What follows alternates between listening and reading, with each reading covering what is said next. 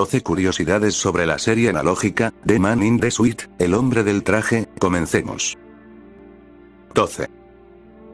El incidente del traje de Godzilla en realidad se basó en un accidente real durante la filmación del traje en donde tuvieron que provocar algunas explosiones del traje, pero causaron que esto del traje y el actor se electrocutaran. 11.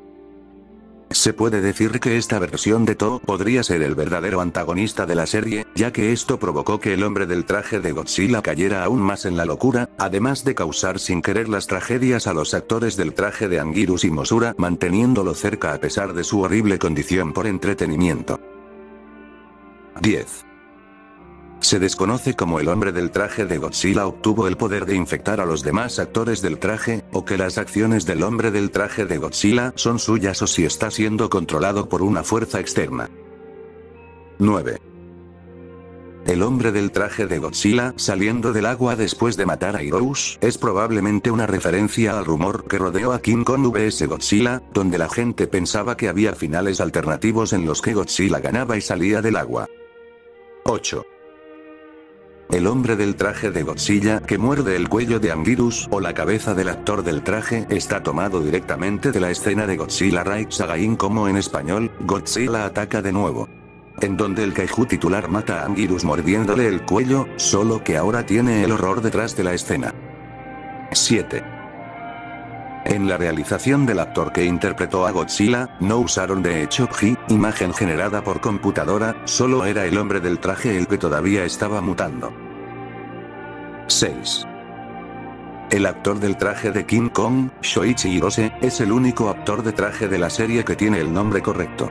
Actualmente también es el único actor de traje que no se infecta, debido al desprecio del hombre del traje de Godzilla por todo lo estadounidense. 5. El traje de la Mosura Larva en realidad fue interpretada por Nakajima y Tezuka, y no por una actriz del traje.